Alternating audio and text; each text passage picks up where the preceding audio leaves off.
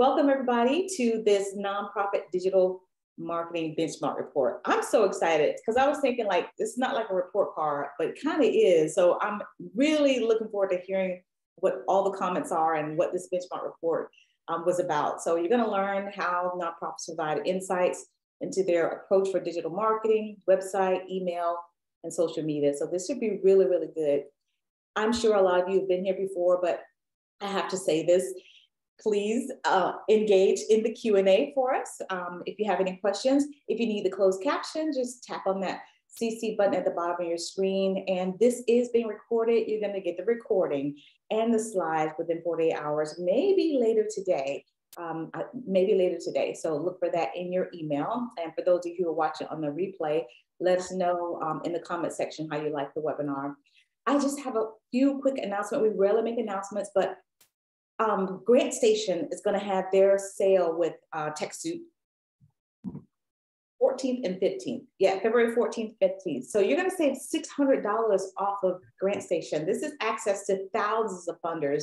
And Alex um, and Cynthia, Alex is the president of GrantStation. Cynthia is the founder of GrantStation. They're both going to be here to give you a webinar. So that is tomorrow. So make sure you sign up for that tomorrow. Then on November, November, where am I going? I know the year's going fast, but it's not that fast. Slow down.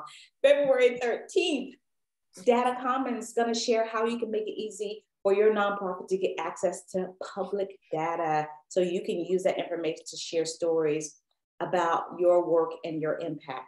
I'm going to move out of the way and go ahead and turn this over to our speakers. We have Joe here, he's a co-founder of TAP Network, and Jason, he's a director of development. Welcome, I'm so excited to hear this report. I'll see you guys on the other end. Bye. Sounds good. Great.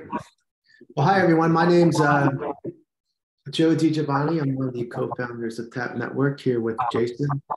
Quick background on, on uh, my experiences. I've been in marketing for about 25 years, and I was originally a biologist starting out. Got tired of cleaning test tubes and, and went into marketing. Um, and very, very exciting times back in the day working with uh, Oprah, helping launch her health channel, and some real big brands working out of uh, Madison Avenue in, in, Silicon Valley. Then about 10 years ago, uh, really sat down and, and, thought, how can we how can we transfer this technology and knowledge to the nonprofit space, and wanted to create a unique organization that did both marketing and, and technology. And with a partner like TechSoup, um, it's been an exciting uh, journey as we as we reach nonprofits all over the world, and, and excited about this benchmark study we're going to talk about today. Jason. Yep. And so my background's more in sales. If you're on our webinar from December, you probably heard a little bit from me as well. I'm excited to join the team here at TAP and kind of bring my unique perspective to these conversations. Um, having worked in both the for-profit and nonprofit sectors, you know, my goal is ultimately to identify the best strategy for your individual operation and deliver on your desired outcome. Um, short and sweet, you know, I, as you'll see in today's webinar, this normally is, requires a multifaceted approach based on your individual organization's needs you know because your strengths and weaknesses are all over the place as we find with most nonprofits. So we'll jump right in. Uh, tap if you guys are unfamiliar with us uh, we are a mission driven marketing technology agency that is proud to partner with techsoup now for over seven years. We serve you know about 300 plus nonprofits like you each year and would love to you know help you out if possible our mission is to provide nonprofits with affordable access to the knowledge, tools, and technology from today's fastest growing business sectors so they can ultimately solve society's most pressing challenges. Uh, in more layman's terms, we help organizations identify growth opportunities, you know, within their existing marketing technology. Um, having both a technology side and a marketing side on our team, uh, we we can kind of you know provide both options, and that's kind of where the magic starts. So our services range anywhere from website development and CRM integrations to the marketing campaign design, strategy, and implementation. Uh, with that being said, I hope our presentation enables each of you to identify areas where you have room for improvement. And if you need our services, we would love to help. Joe, you want to walk through the benchmark study for us? Sure, great. Just some some quick background, um, and you could download the benchmark study from this slide. We'll send the slides right after the conversation, and Aretha will um, also pop a link in, into the chat.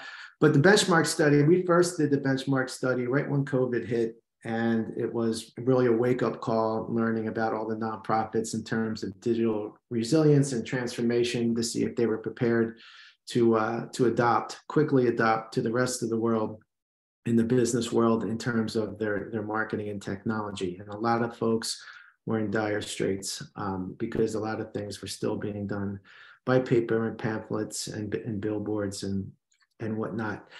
And then we just recently did a follow up benchmark study uh, this past summer as we were coming out of COVID and was really exciting to see how far nonprofits has come over over that period to digitally transform a lot of the things they're doing in terms of social media, email adoption, CRMs. So the survey will go through each piece, um, and it's a it's a nice way to compare how you're doing with your peers, and then see you know how do you bridge that gap or or take a leadership role in in your sector. Uh, the, the survey was completed by 110 uh, nonprofits in the United States. So in terms of the agenda, next slide, just give you some feedback on where we're going today. We'll review the, uh, the website benchmarks, and then we'll dig into advertising, content marketing, email marketing, and social media. And then we'll switch gears and look at marketing technology, all the pieces that fuel all this from CRMs to CMS and, and marketing automation. Well, I'll jump in here, Joe, and I'm going to go over the website portion. So for website benchmarks, uh, you know, your website's your that 24/7 mission driver. It never sleeps, it doesn't go on lunch, and it doesn't take vacation. Your website's job is to convert prospects into participants, volunteers, donors, and most importantly, evangelists of your brand. Evangelists are that key to any budding organization becoming and maintaining relevance in today's market. I know today's market is harder than ever. And so, how do we help you do that? You know, these evangelists are the early adopters or supporters of your mission, and they really will propel you into the future so that you want to make them, you know, the biggest supporter as possible. So, does your website provide the tools these evangelists need to champion your mission? How, you know, why and how can your audience get involved? What impact does this does their involvement bring? These are all questions your website ultimately needs to answer so that they have the tools they need to help you grow. You know, one of the main factors in maintaining relevance is ensuring your website hosts routinely updated content. And to enable this, you know, the first you first need to ensure that it was constructed in a way that is easily accessible and updated, you know, can be updated by your staff without having to bring on someone else that kind of leads us into a, our CMS discussion, one of those acronyms Joe was referring to. So, what is a CMS? You know, this is a content management system. Think of this as the backbone or foundation that your website is built with. It allows for easy accessibility and changes to be made without having to learn to code.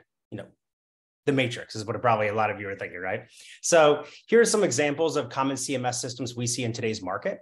Uh, Wix and Squarespace, you see in the top left uh, are both more for brochure style website. Easy to get in and use, easy to start, but limited in function and scalability because they're trying to be easy user experiences. Uh, meanwhile, our team is more, you know, we, we use WordPress as our go-to. It's free to download and use, best for SEO and, and integrations, and ultimately is the most scalable because it provides access to hundreds of thousands of unique plugins uh, that can allow us to custom tailor the website to your individual needs. Both Joomla and, and Drupal are also open sourced, similar to Web WordPress, in that they allow you know customizations, but they have a much steeper learning curve and often are more for they need a lot more custom development. We like to think of those as more you know portal like for applications that require more really support overall to launch and evolve. So your choice of CMS can have major implications on your team's self-support capabilities. And so we wanted you to make sure we want to make sure you're thinking twice if you are considering rebuilding your website to understand what implications these have. Um, while laying out and creating your website, it's it's just so important to, to make sure that you're thinking about this, you know, right in the beginning. So I want to jump in right to one of our first benchmarks. And I was kind of surprised that our survey results were that 53% of our respondents don't even use a CMS for their website. So we either have some hardcore coders out there uh, that are sim- or people are just unaware of the benefits of CMS ultimately can provide. Hard coding a website is both time consuming and not supportable and not a really way to scale your business long term because it's so time intensive for subtle changes. That's where a CMS really starts to shine and why our team uses them. Um, it's like doing long division in your head instead of using a calculator. I mean, just don't beat your head against the wall. Save time and energy and put it towards your mission, not towards trying to change if an image is on the left or slightly on the right. You should be able to drag and drop and make it easy. Um, knowing that more than half of you are unable to reasonably make routine updates because you're not using CM, a CMS, it's kind of no surprise to see that 30% of you are only making updates to your website when people are pointing out that there's issues. Maybe it's out of date. Um, and another 45% of you are reporting that you're making monthly updates with just a handful doing weekly. Uh, you know, frequent updates to your website are a key way to drive and boost your SEO, which is going to get you that organic search and get in, you in front of your audience. You know, we want to make sure that they get they come back and they have a reason to routinely return to your website to get new information and content. It's just going to boost their likelihood of being involved in your mission. So, having met with many of you personally since I've been here at Tap Network and worked side by side with TechSoup, I want to highlight that typically this is not the result of people being lazy or lack of effort.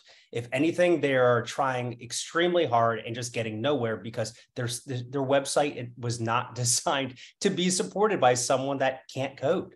Uh, I'm right there with you. I couldn't do it either. So bite the bullet. Let's do it right, and let's get you going in the in the right path. Um, a lot of this is just proper planning up front when you build your new website going to jump in a little further then get you know as this kind of digs out and see so if your team is part of the 50% that are looking to rebuild their website again leading into this no surprise that a lot of you are looking to rebuild their website because you're not using cms's you can't make updates to your site you know we understand. And we have a growth driven design approach that our team uses because we find considerable success especially in the nonprofit world. Think of this as like a progress over perfection you know, we want you to get in motion and reaping the benefits as soon as possible. So we start by getting those core pieces of your website set up so you can start taking donations. People can start connecting to why you're relevant and what impact they can have before we go on and building and optimizing it for each little nuance of what you do. Um, you know, should you choose to partner with our team for a future website build, you know, this is the exact process we would use to implement. Joe, why don't you go kind of go over a growth driven design approach uh, so they kind of understand how this works? Sure. The uh, growth driven design approach, it was um, originated out of HubSpot, a, a CRM provider that, that uh, a lot of nonprofits collaborate with. But when COVID hit, it, it really came to fruition, this process, because nonprofits didn't have a year or two to rebuild their website and make huge investments. They had small amount of budget left over and they had to do it quickly. So this is really where growth driven design spread throughout the social sector. But the process really is, you know, you, you, you have a strategy and you want to relaunch your website. So you launch a launchpad website, which is basically a website that maybe has 80% of the things that you really, really need, and you get it up quickly. And then once it's up quickly, you have time to really plan, develop, learn, and transfer um, information to continually improve the site. So let's say you launch your website and the first thing you want to test is volunteering. So you have you build a volunteering land, landing page, call to actions. You're putting social media out there around volunteering, and and that's part of your plan. That's where you set your goals, and then you develop it. You launch it on the website, and then you learn. You measure it for a month or two or three to see how it's performing, what can be fixed, and then you take all that information and you transfer it back to your fundraising team, your, your operations team, your marketing team, and you continuously improve the site. You might improve the volunteering aspect more, or that might work. And then you want to add in a fundraising uh, flow that's just as similar. So, anyway, this is a great way to get a website either relaunched or a brand new website up quickly and then continually to grow it so it's always firing on uh, on all cylinders. And so, Joe, why don't you walk us through the email benchmarks so they understand kind of how we can start getting the eyes on the prize, getting people looking at the website? Sure. Once once people come to the website, the you know the main thing that you want to do is is collect emails. Email, I believe, uh, is one of the most powerful marketing tools you can have. So if you look at emails, the three core pieces are things that you want to do is you want to grow your email database. Uh, the more people you have, the, the more opportunities you have to grow your, your nonprofit. Segment them, number two, and then nurture them. So that's continual emails, nurturing in terms of getting them to become members, to volunteer, to, to donate. So that's why we really think you know email marketing is important and, and a, a, major piece of this uh, of this survey. On the next slide, we, we can look at some of the uh, the data here. 73% of nonprofits um, do not have a defined email marketing strategy. And like I said, really all the work that you're doing out there to meeting with people, having events, you're growing that email database. It's it's your number one driver. So a, plan is is huge. So having a, an email strategy and an email strategy that is part of your overarching strategy is critical. And that's something that not going to cost a lot of money, but just some time to really think think that through. The next stat 55% of nonprofits do not have the ability to segment audiences.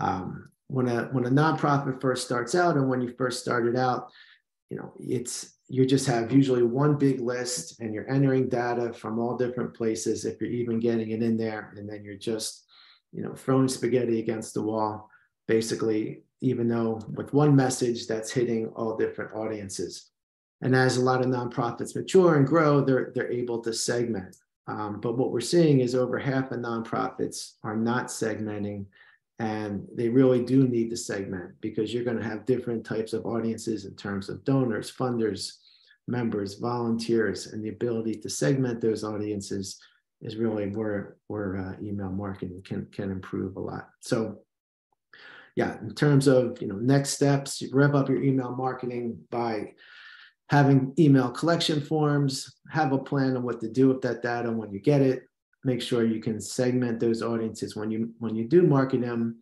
And then think a few steps ahead like a chess game in terms of what emails that you want to send succession to convert folks to donors and funders but as far as the landmark benchmark study goes this is one of the things where nonprofits can make a, a quick improvement without a, a huge investment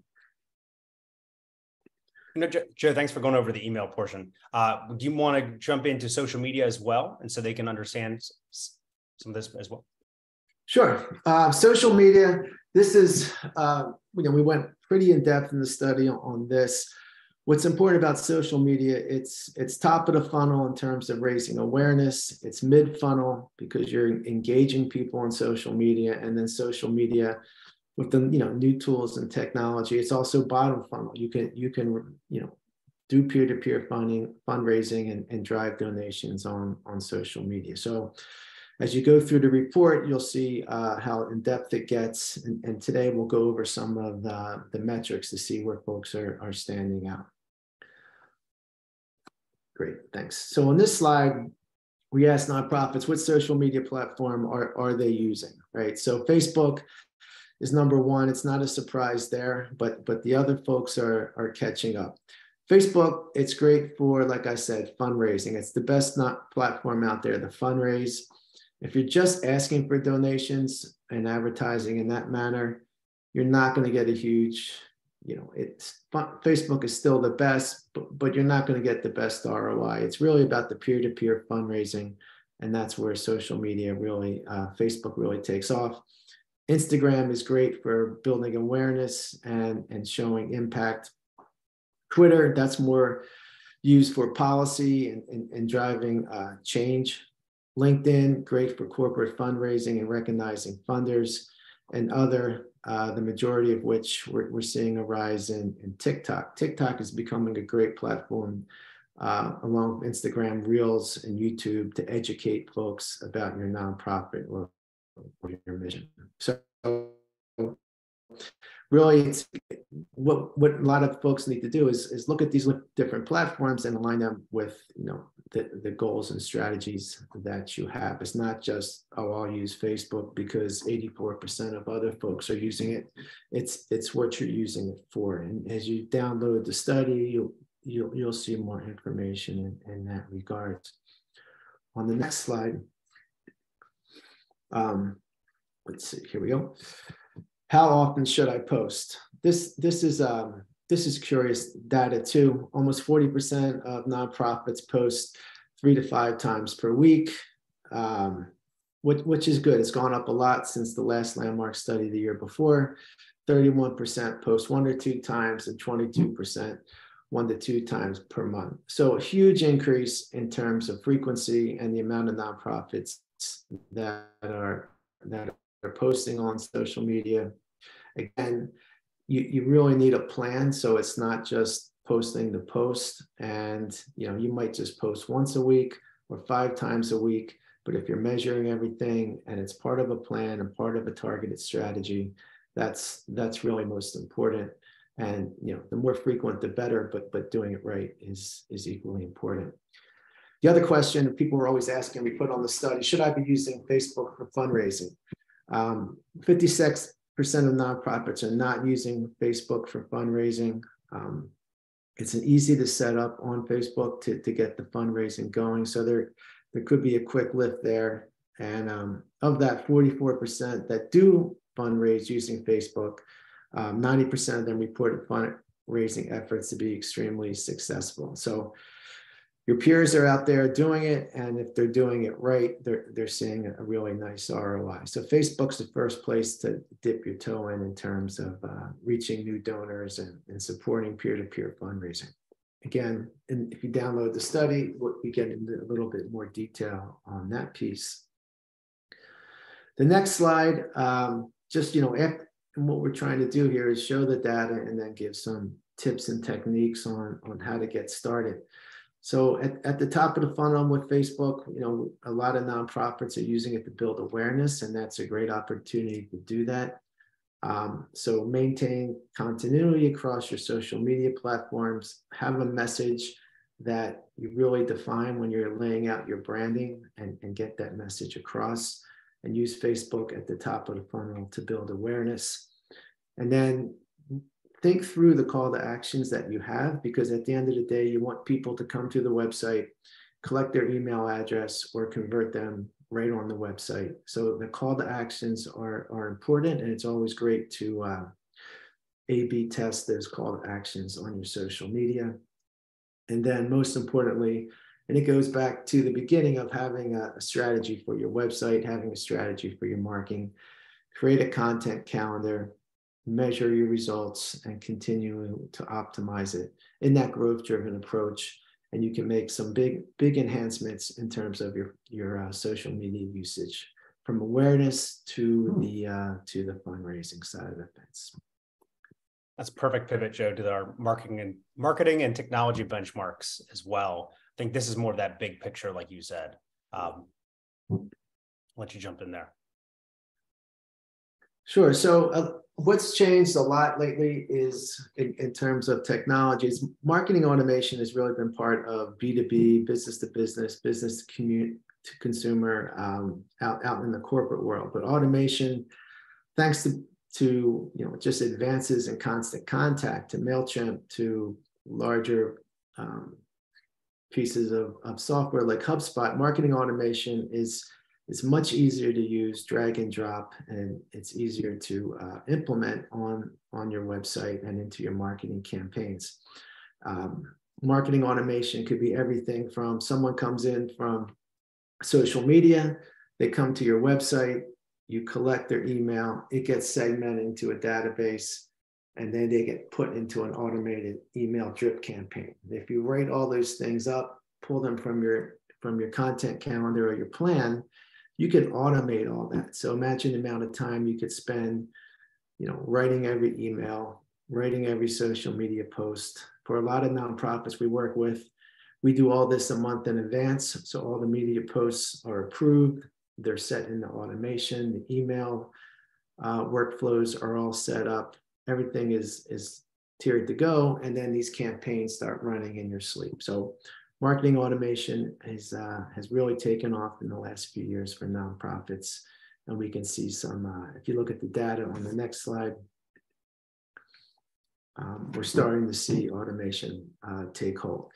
34% uh, use email automation, which, is nice to see. Again, there, it gets even more in depth once you start adding more automation in, in terms of your website. But just starting with email is the quickest, easy way to, to get automation going. Um, this could be thank you emails from donations, donating nurture campaigns. So you might have a set of emails that say, hey, thank you for coming to our big gala.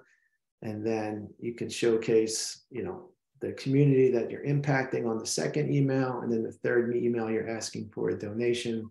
And then thank you, you're asking to refer somebody. But all these can be set up. Um, everything from end of year donation reminders to anniversary donations. Um, there, there's a lot of different ways this could work. So we see some, in terms of the benchmark study, it's nice to see 34% are using it, but there's still a lot of uh, room to grow there. So the next portion we're going to kind of go over are CRMs or constituent relationship management managers. And, you know, 54% of nonprofit organizations studied don't use a CRM and 11% weren't even sure. So kind of bringing this full circle with what Joe's talking about, about with the automation, how we can email and collect information. This is where a CRM ultimately helps. So we've talked about top and middle of funnels. This is the bottom of funnel. How are we collecting information? How are we getting in touch? How are we tracking these people? Um, I, this is really where this comes into fruition. Um, think of a CRM as that central repository for all your constituents' information. This doesn't just include whom they are, but also more importantly, their interactions and their interests. This allows you to segment them understand who they are, and then remarket to them through social media or however you want, email blasts. Uh, common examples of CRMs are like Salesforce. Uh, on a really, really light end, yes, you could say maybe constant contact, but uh, or HubSpot, stuff like that. And HubSpot is a great example. This is a very marketing centric CRM, and we're a HubSpot platinum partner and have helped integrate this into hundreds of nonprofit organizations. We find it's ideal just because it's so easy to use and grasp and it's so marketing focused. So you can have it integrate directly to your website. So those call to actions that Joe was speaking about and talking, you can create those forms right in HubSpot, link them to your website. And now when someone comes in and they want to donate their time, you can have the form and you know exactly what they're interested in. It makes it really easy then to market to them later about, hey, we need a couple more volunteers for this initiative. You know exactly who to reference um, just as an example, but contact management, lead management, can do emails, share documents or files. The biggest piece that I like is the it allows you to measure your conversions on your website and from your marketing. Gives you that one repository where you can track what's been successful, what haven't, what hasn't been, and where should we spend our next marketing dollars to see if we can make a bigger change. So HubSpot does offer more of an all-in-one digital platform. We do have an option to do that through TechSoup as well. We can help train you and get you started there if you think this is a good fit for your organization, or if you're not sure, we would love to talk to you about it. Um, anything you want to add there, Joe, on the CRM? No, I think you know HubSpot is a nice all-in-one platform, and they have you know a free, a free platform to test to test it out with, up to a huge enterprise level as well. So it just depends on the size of your organization, but it basically covers email, social media, website management, all, all those different elements. So next steps wise, you know, would love for you guys to all to download the marketing benchmark uh, report if you have not. Um, if you have any needs or feel that you could, you know, need help in certain areas, please reach out. You can go to and everything. If you want to share these links, you could go to Tech Service, uh, TechSoup's uh, website resources or marketing resources. And the team here at TAP would love to help you in whatever regard you need.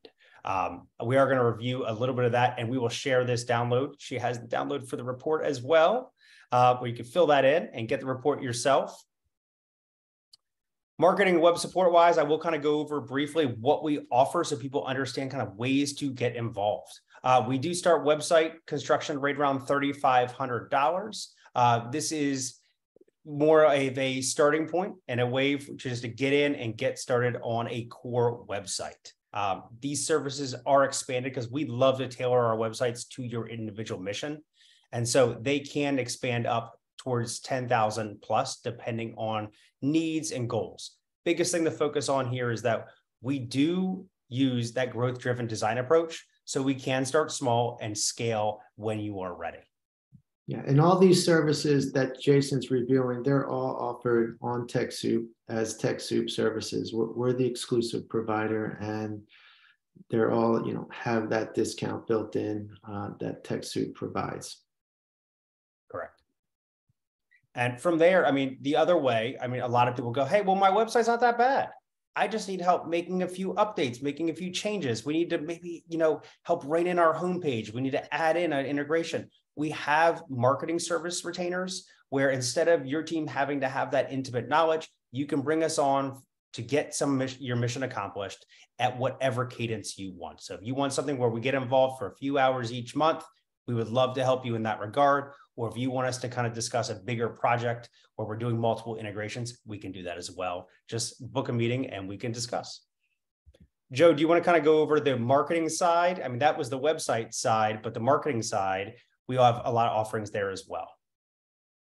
Sure. We have, uh, again, as, as Jason said, every nonprofit's different and we always, you know, aim to customize our, our services, especially along the marketing side.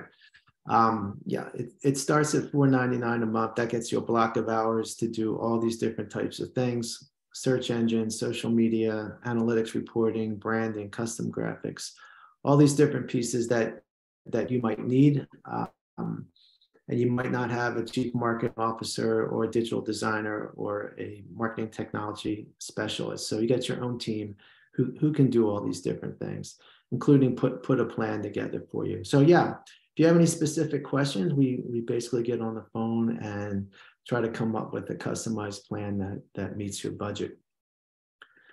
Speaking of plans, Joe, why don't you kind of go over the marketing strategy and audit as well? Because this is one that we get a lot of requests for. Sure. Before, you know, a lot of nonprofits make a heavy investment in marketing and advertising. What, what we do is come in and put together a marketing strategy and audit. And that, that includes a, some technology audit as well in terms of CRMs and CMSs.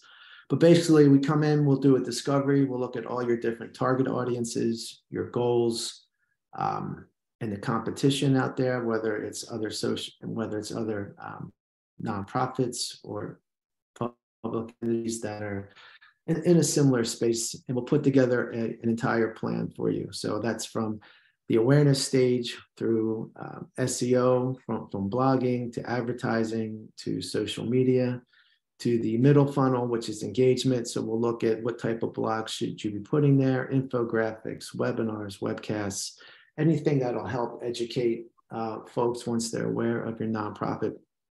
And then the bottom funnel, which is really where the CRM kicks in and we're looking at email drip campaigns and, and ways to convert people at the bottom. So whether we want people to become fundraiser to, to, donate to, you know, corporate fundraising to volunteering to having folks engage into a, your particular program.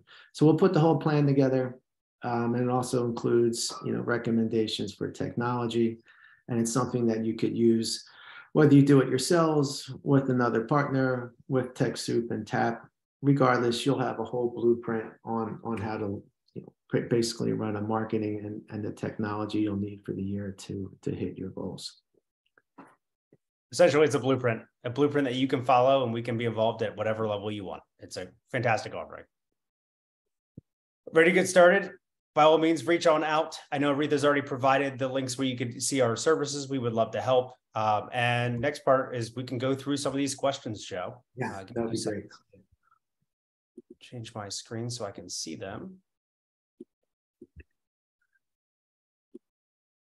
I appreciate everyone taking the time to join us today. And let's jump in.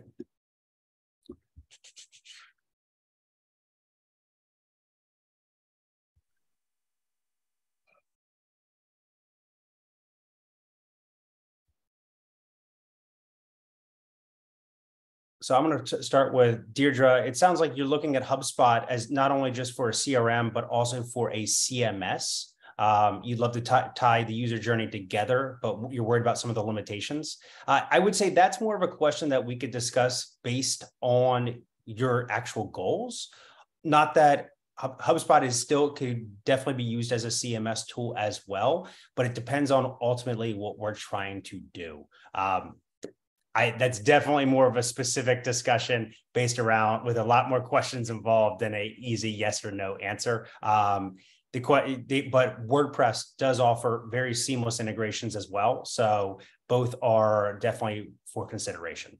Yeah, I think I think HubSpot is nice because from a, a CMS standpoint, without getting specifics of, of your organization, it, it enables you to create content, you know, and, and publish it right onto the website. It you know, from blogs to the calls to action, link them to a campaign, and then link them into your CRM and into your contacts in your database. So the nice thing about HubSpot is all, all those pieces are integrated, and then you can actually label them as as campaigns. So the content and the conversions and all the let's call them deals, which which could be related to you know getting someone to actually uh, donate, can can all be tied together.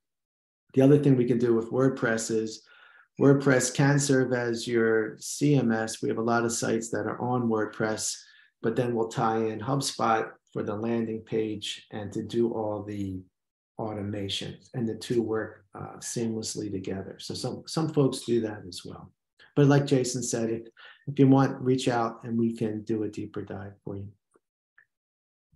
Trying to jump in here. I'm not familiar with FireSpring CMS. I'm seeing that one from an anonymous attendee. They're asking about FireSpring uh, as an open source CMS. I know our team, as far as I know, we are not experienced with FireSpring uh, definitely would recommend if you're looking for something customizable to you uh, to look at WordPress. And to give you guys an idea, we don't just use WordPress and that's it. We definitely have a suite of plugins that we've identified as being ideal for creating websites like Elementor, a drag and drop, what you see is what you get tool. And so it's the not just WordPress, but the combination of a few best in breed plugins that we use to create a site experience that is easily supported by less tech savvy staff in the long run. The goal is you can easily log in, make updates. If your board members change, you can make those changes to, you know, pictures, titles, all that can be done easily without you having to incur costs uh, of hiring someone to do it for you. It's a question from Janet around how on updating web website regularly, how often do you recommend we add content to optimize SEO? Um, yeah, so add, adding content, again, it depends on, on the size of your staff. If you could do, you know, if, if you're just doing one, one blog a week would, would make a big difference. I think you'd be ahead of 80, 90% of, of the nonprofits out there. And then, you know, the more that your blogs link amongst each other as a, as a source of truth, uh, the further you can optimize that that content. And then if you if you tie social media that drives folks to those blogs, that'll have more traffic to them, which, which raises your SEO. So a nice benchmark uh, would be about once a week. And if it's original content, e- even better. But again, it depends on the size of, of, of, your nonprofit and what you're trying to do. But that's a nice place to start. Once once a week would be re- ahead of every most every other nonprofit.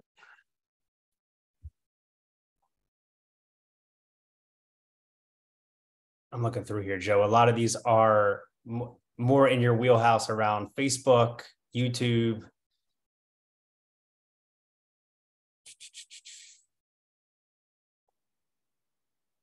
Yeah, the um, here's here's another one about timing on social media posts.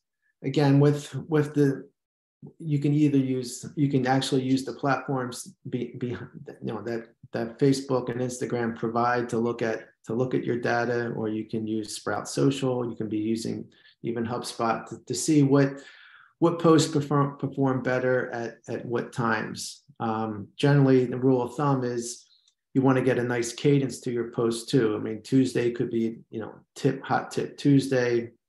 Monday could be you know something else around fundraising, and the rest of the week is, is geared towards education, um, educating folks. So it's not all, all about sales and, and trying to, to drive to fundraising.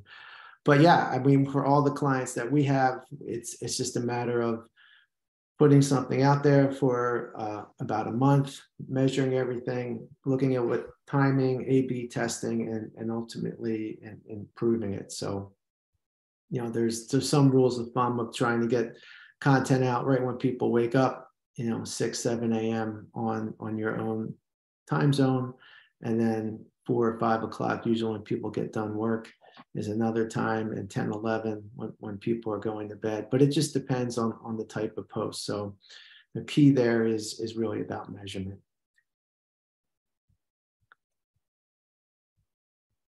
I see one down here from Paul. Paul, you talked about uh, what our views on Wix as a website development tool.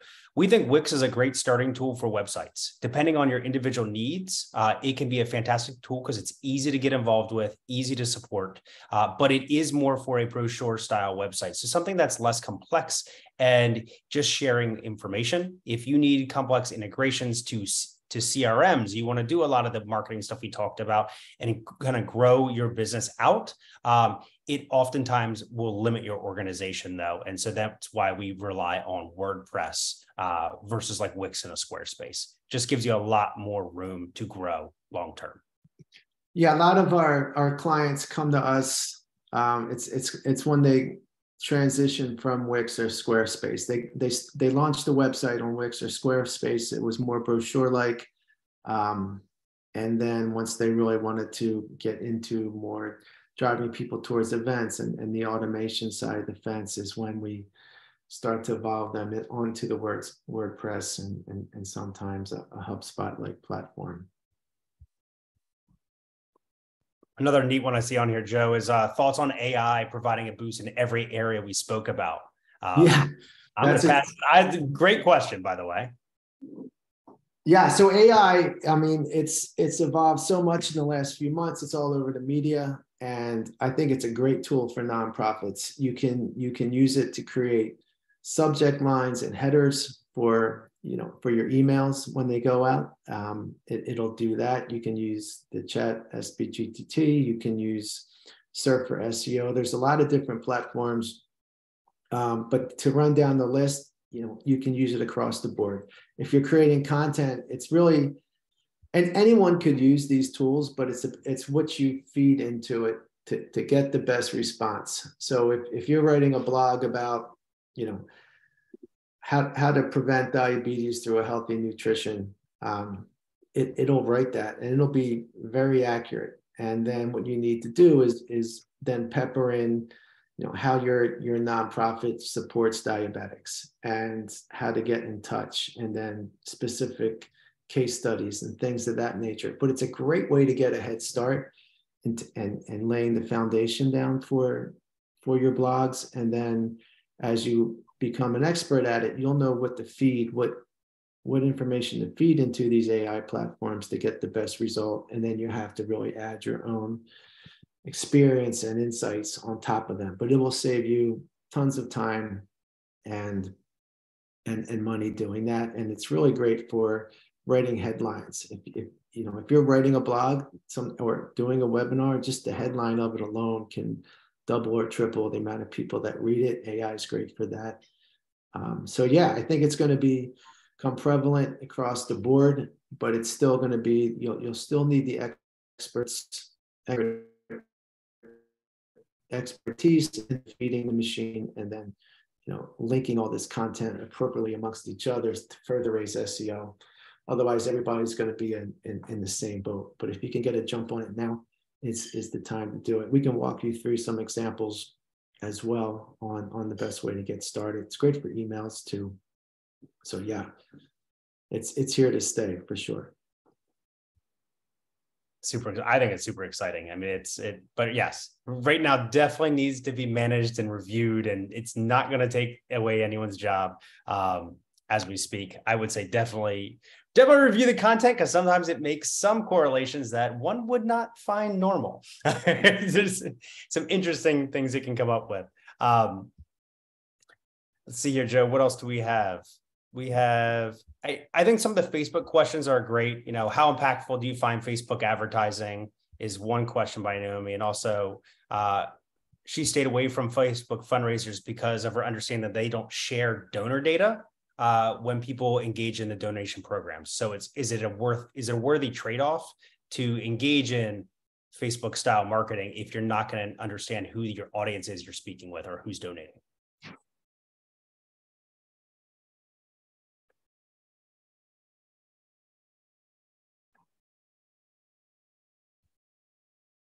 Can you hear me? Yeah, I see. Here's a here's a great question. What is what is the priority list? Um, generally, we kind of look at at the website as as being the priority number one, making sure that your your messaging is succinct and the workflow when people come to the website from a user experience standpoint is there. And once once that foundation is set up, so we know someone comes to the website, call to actions there we want them to get their email because they're interested in the newsletter. That email goes into the database and we know, you know, they could be a funder, they could be a volunteer, etc. But setting up the website is really number one and making sure because everything that you do is going to be is going to be sent there. So then once that's done, it's it's generally Facebook because you're going to be driving folks there and then the email to, to continue that conversation. So hopefully that's helpful, but really again, that foundation set up on the website is, is the first priority. And Joe, I want to circle back. I was asking you that for your thoughts on the on Naomi's questions around Facebook marketing, uh, what your thoughts are there. Do you see? Do you see the questions? Sorry. Sure. On on the Facebook marketing, um, you know, if we, we've seen a lot of folks use Google the Google ad grant to to advertise on Google and and that helps. And then there's the the second place people generally spend money is is Facebook. But you're you're not really seeing the ROI if if you put an ad out there about your nonprofit and you want folks to to donate the let's say the cost per click is a dollar right? So every time someone clicks on your ad it's a dollar. And you get maybe 10% of folks who who click actually fill out a form. So now you broke even. And then another 10% actually donate. Well, then you're you're spending $10 for every dollar that that you raise. So with with with you know trying to raise through certain platforms, it's important to really to do the math if you're spending money in terms of advertising. If if you're trying to do it organically, the best route to go, especially with Facebook, is find the, the 10 or 20 people that are super passionate stakeholders and take the time and effort and investment to set them up on a peer-to-peer fundraising platform, whatever one you may use. And in general, we, we, we likely see between 500 to $1,500 raised per person who takes a personal story, puts it on Facebook, and pushes it out to their own uh, audience. That's generally, the, I think, the best ROI in terms of marketing on on Facebook. If you're huge and you're United Way and you have a budget and the brand recognition, yes, it might be worth spending ad dollars. But otherwise, that peer-to-peer personalized fundraising seems to have the best ROI. Yeah, it, it, it's really what you're doing is I know in the beginning of our discussion, we talked about the evangelists and how you want to create them to bring your relevance. You're giving your evangelists that tool they need to help you raise revenue because they already know they're already bought into your mission. And so now they can go out and help capture funds to further what you're trying to accomplish.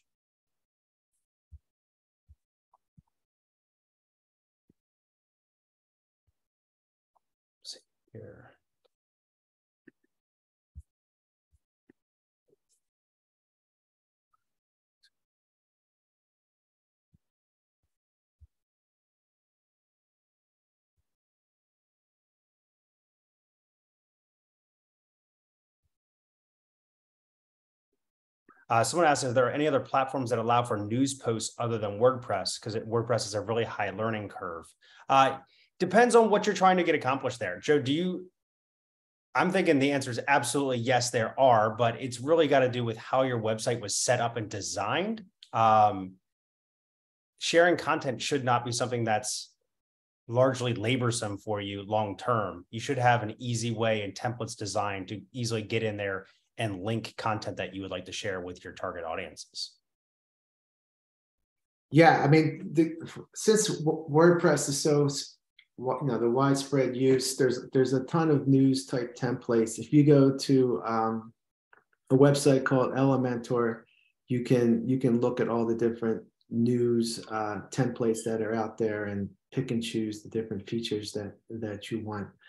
Um, generally, that's that's what we not that we use Elementor, we, we kind of customize our own, but if you're starting from scratch, that might be a nice templated platform that, that uses WordPress. Hope that helps. Um, but but generally, that's mo most new sites are built built on WordPress. Yep. The idea is just to make sure it's drag and drop, easy to like manipulate, and it's what you see is what you get. So it, again, going back to you don't have to know how to code to be able to use it.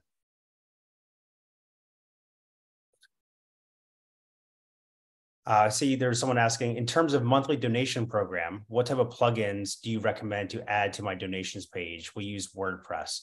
There are a myriad of donations softwares out there, tons to really go through and many options. Uh, one that we've seen a lot of success with recently, I know, is Givebutter because it allows for easy integrations to a lot of common softwares and it's free to get started. Uh, there are others as well, like Little Greenlight. Um, what other ones, Joe? I'm trying to think, but Givebutter is the one I've seen a lot of success with lately.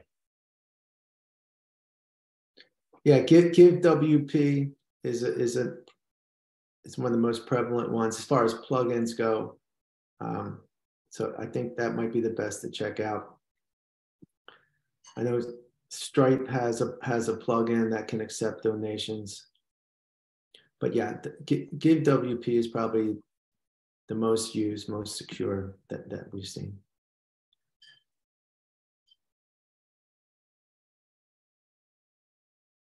I think any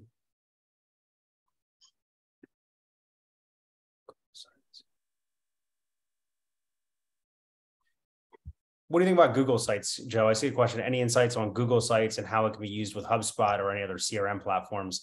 I'm not familiar with Google Sites at all in that regard. Um, I think it's Google Sites is typically used as people's first site as an easy place to get started, but typically people move away once they're ready to get to that CRM level and ER and integration level. Is that in, wouldn't you say that's correct?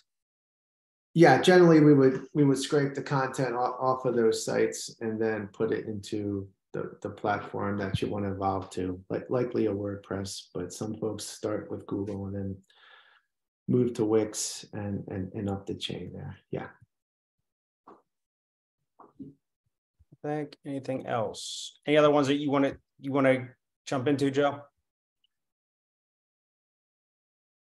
Yeah, I think I think we covered most of them. Again, if, if you guys have any questions, feel free to um, click, click on the links that Aretha provided and we set up a call to do, you know, more in-depth deep dive in, into what your specific needs are. Um, but but we're here to help. We've been a partner with TechSoup for like we, like we said, seven years, and, and everything that we do is through TechSoup. So you get um, you get the expertise in terms of all the other platforms and services that TechSoup offers. As you know, we integrate and work with all the different partners like Microsoft and, and Adobe and everybody else. Couldn't agree more. Well, I appreciate everyone's time today. Uh, would love to talk to you in, in further depth if you're interested in discussing your individual needs or ways we can help. Um, anything for you, Joe? No, that's great. Appreciate everybody's time. Thank you, everybody. Make sure you fill out the survey and we'll send these links out to you um, later today. Thank you. Bye-bye.